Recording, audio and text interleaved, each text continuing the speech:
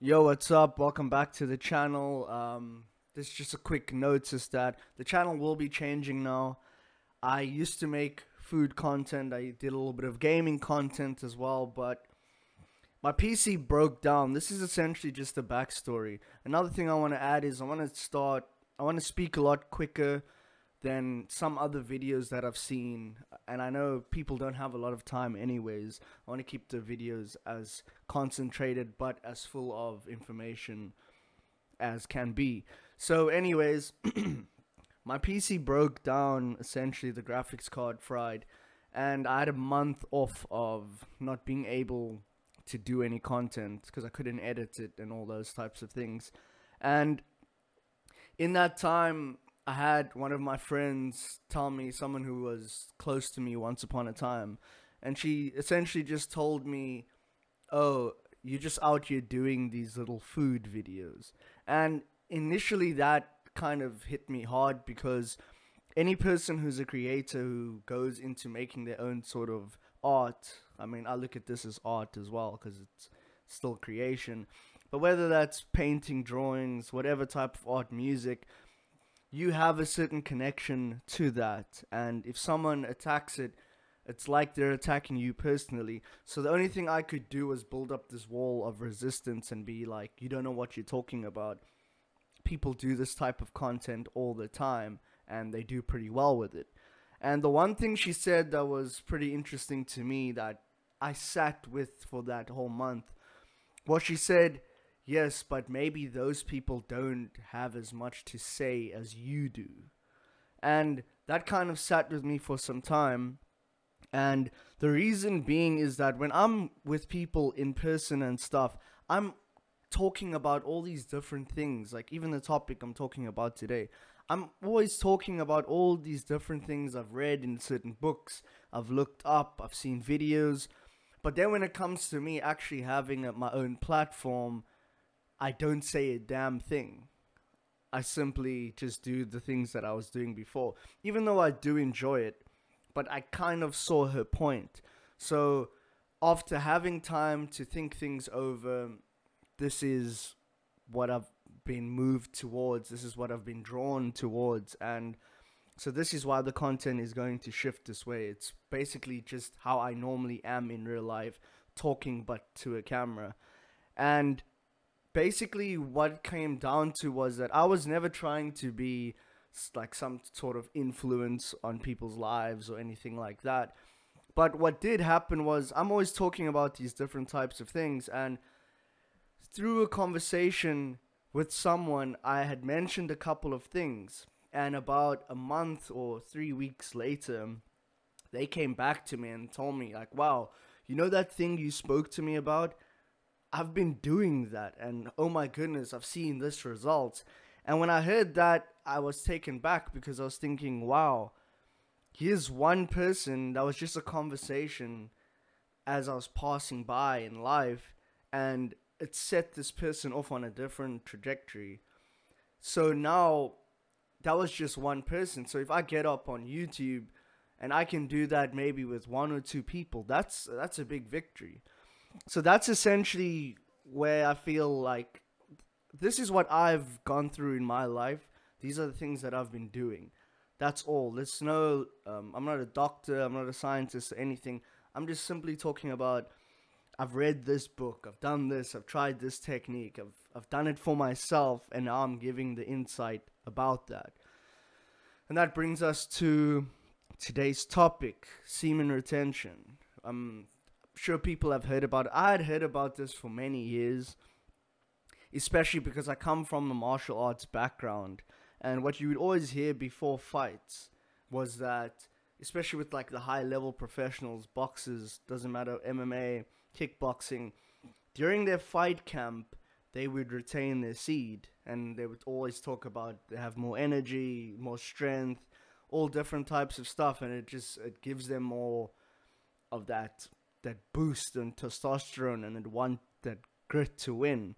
And so I had known about it from there. And then I think it was because of testicular cancer during for November.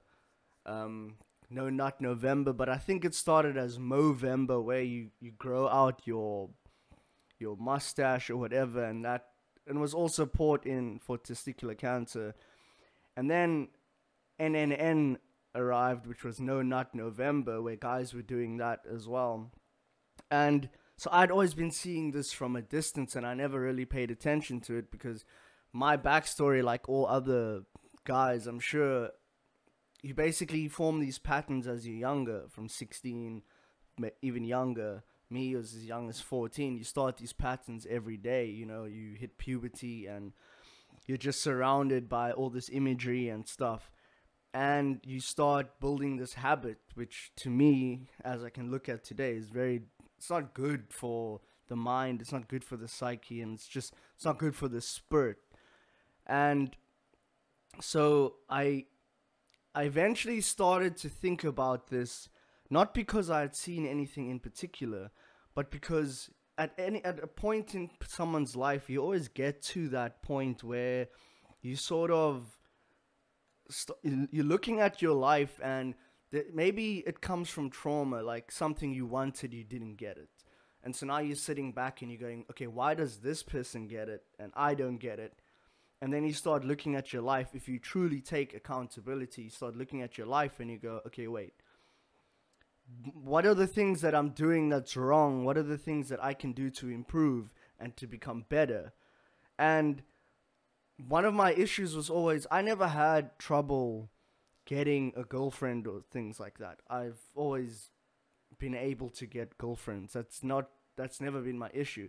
The issue was normally it would be a specific chick that I wanted, and I couldn't get her, and that would beat me up more than anything in the world. And you know, I you start you start looking deeper into things. You start looking up, you know, all different types of things in terms of why some guys get women and other guys don't. Why women sit attracted to some and then you start seeing things like high testosterone, and then you start going down that route there, and then you start seeing like when you are spilling the cup, this is spilling your semen, you are lowering your testosterone as well, and then it's like, oh wait, but if I'm doing that, then maybe that's the reason why I'm not I'm not I don't have this testosterone and this energy to get the person that I want. Um, so you know these are the types of things that come up when you start going for the, on that journey inside. I'm not saying that is the particular reason, but that could have been one of the causes, and it led me here. So I eventually just started to do that. I was I've been training a lot. Um, so like I said, through kickboxing, MMA, they would do that through fight camps where you wouldn't spill the, the Cup of Hermes, as they call it. And essentially, what happened was I started doing that just for my training. And then, kind of on the weekends, I would, you know, do the thing. But then I would always realize, like, on the Sunday, I would be low energy and I would, it's always a big reset, you know? And I could feel the difference in my energy levels. And so eventually I get to this point right now, where which was last year, what the 27th of August. It's 150 days to this point, which is, if you had to tell me this last year or something, I would be like, okay, that's crazy. You know, I would come up with some reason why that's not good to do or whatever. But this is what benefits that I've sort of experienced from it. So initially, right off the bat, more energy and I'm going to keep these short and sweet. I'll be doing more videos anyways on more in depth on certain things because I do have a lot. But like I said, I don't want to. Um, want to keep all this videos compressed and not too crazy long. More energy. So I I was someone like if I didn't get my enough hours of sleep, say if I went to bed at two o'clock and then I had to be up at five or six, so you know you're only looking at four to five hours of sleep. I would feel it tremendously and you know it would take me at least like an hour and a half to like really drag myself through the morning coffee and stuff and try get a bit of energy but then the nighttime i'm gone that seems to be gone because I can do that exact same thing. Like even last night, um, the dogs were going crazy and I was up and down like constantly. I didn't get a, a proper moment of sleep like straight through the night. I was up about four times, getting up, checking things, this, that, and the other. And I woke up, I was up at half past six. And I, it feels like I slept the whole night. It just feels like even right now I have so much energy. And to me, that's just something that I feel. Is it directly towards retention? Who knows? But what I do know is I do have a lot more energy. Even when I'm training, when I'm running, I can I can come straight off the couch and go for a run of 10 kilometers and I would ask myself like damn I got a lot of energy like this is crazy I've come straight off of the couch to do this I'm so that's one of the first things uh, more energy Second thing is I'm less moody. And this is an interesting one for me because as a kid, I was always irritable about everything. And obviously, especially when you hit puberty and stuff, like teenage boys, you know, we just become moody and, you know, we hate everything. And this is just our bodies sort of changing. This is us becoming men. Um, and so for a long time, I just thought me being moody and irritable is a trait of mine. That's just how it is. Um, if something annoys me, I show my aggression, not like anger, but the frustration of just, ah, you know what I mean? And that seems to be gone. And in moments that I do feel frustrated, I, it's, I let it go so much easier. Now that could be me just growing up and realizing that you can't be frustrated about every little thing. That could be a possibility.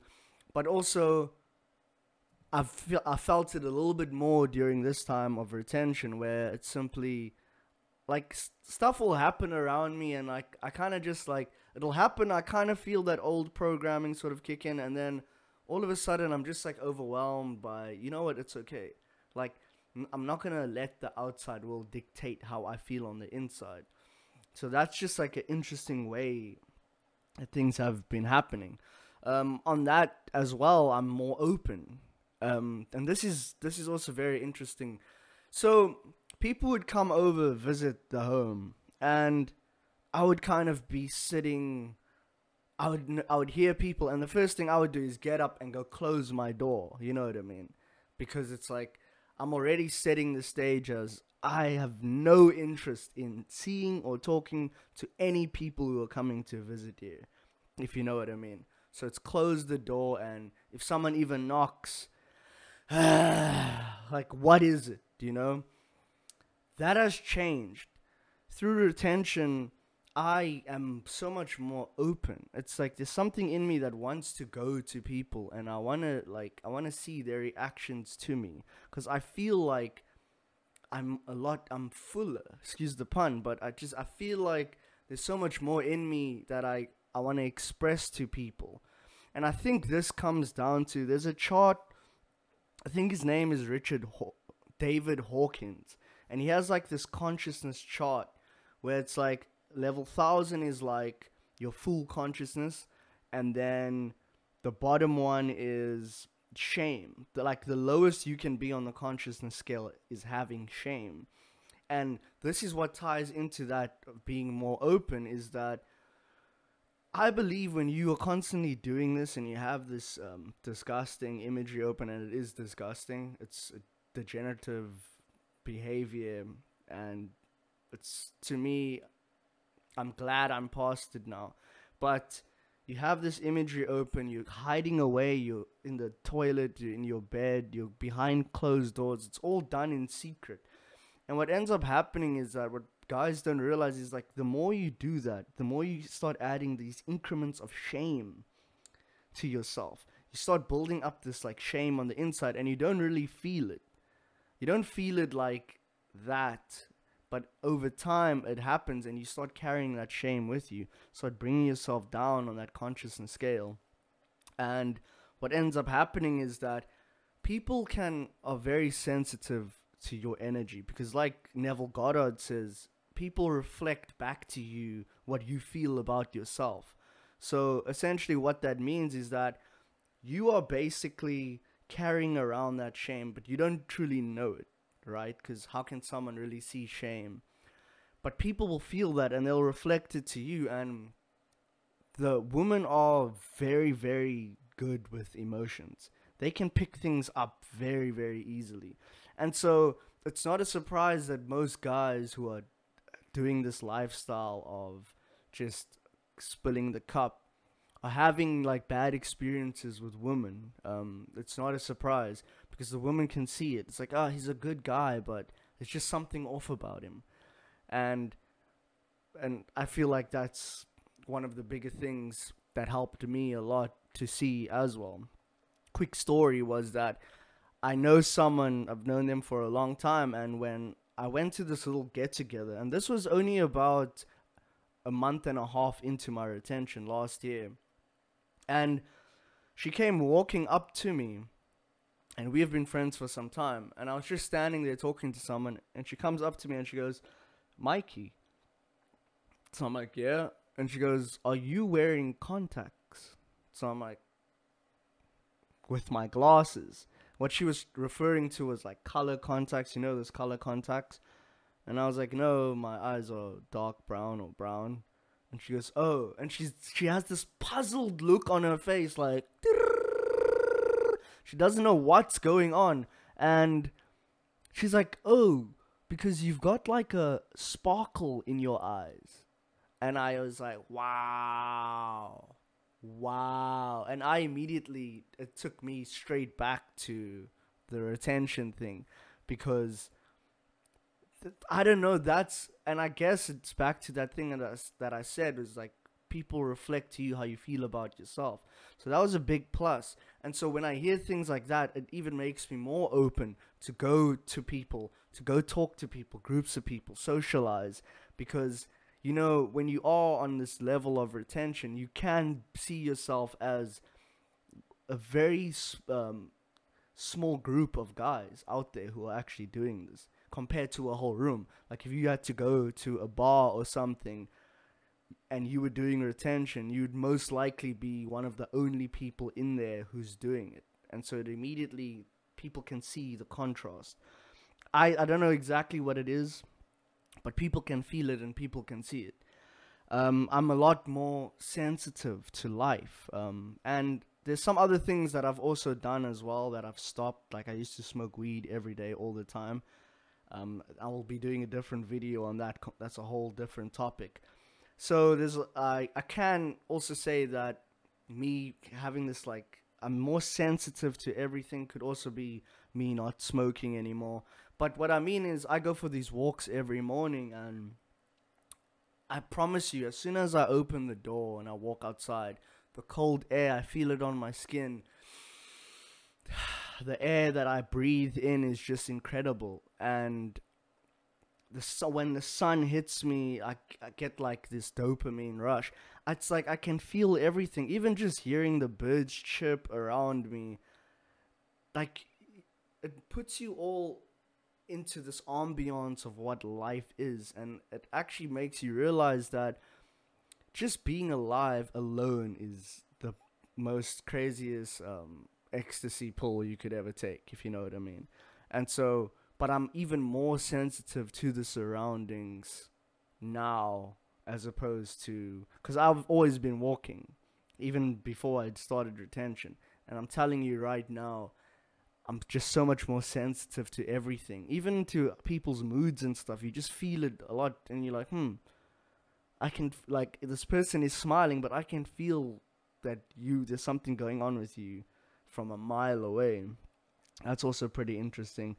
Um, my taste has changed in women. Um, so everybody knows what a thirst trap is. If you don't know what a thirst trap is, it's essentially just when it's a it's a trap to get guys to sort of, you know, I don't want to use the term simp, but get them to lust over someone, certain imagery. So you'll have it on Instagram and all these apps where chicks will put on certain makeup, contour on their face, and all this types of stuff. They'll dress a certain way with cleavage and all that.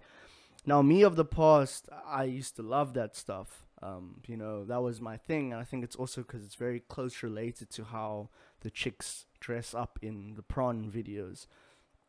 And so what happens is that now now I see this and I go, huh, like I know what you're trying to do and I'm not interested in that. But the, here's the funny thing: what I really have been more attracted to, because I've been out, I've went and I've spoke to people. For some reason, I'm so much more attracted to someone who's a quote unquote plain Jane. Um, hardly any makeup, dressed simply, nice but simple, and there's just like there's something about that now for me that's just way more impactful on my soul. It's not it's like, like you don't have to smear yourself with makeup in order to grab attention. You just it's more of like like a pure soul because you are who you are. This is your energy, this is your light. You don't have to put makeup on and stuff in order to gain attention. You are just beautiful inside and out. And so that's that's the best way I can describe that. And so those are just some of the things that I feel internally. And now let's look at some of the other things, which is manifestations are out of this world. Like, so that's a lot. Another thing that I talk about a lot is my manifestations, thinking about something, a mental image, then feeling the exact emotion, strong emotion, letting it go, and then seeing it realized in your 3D reality. That there is the basic way that I can explain what manifestation is. You've always been manifesting, even as a kid, but this is also a different video that I'm going to do that on. But essentially, the the way the way I'm able to think about something, feel about something, let it go, and how it pops up in my life is insane through these these days of retention. Um, another thing that this is a big feather in my cap is that I'm an actor, so I would go to all these auditions and stuff. I've been going for years since a little kid, and I've never got anything substantial. About a month and a half into retention, I, because I took a big break from acting, a month and a half into retention, I went to an audition. And it was a different type of audition because there was going to be a, some audience. You like you, so you would do the the thing in front of an audience, um, which is very different because normally it's just you and the casting directors. And on the way there, I just I closed my eyes and for some reason I just I I imagined the end and that's what Neville Goddard also talks about the wish fulfilled, right? Walking in the wish fulfilled. And I closed my eyes and I imagined people clapping, standing and clapping for me. And I, I walked within that feeling and I walked within that assumption. And literally, that is exactly what played out. They were standing up and clapping for me after I did my monologue. And two days later, I got the job so it's my first, and it's a movie. So that alone is something that I've struggled with for a long time, asking why, why, why are people not accepting me? Why is it that I'm going to all these auditions and not getting a thing? And boom, it seems to work here.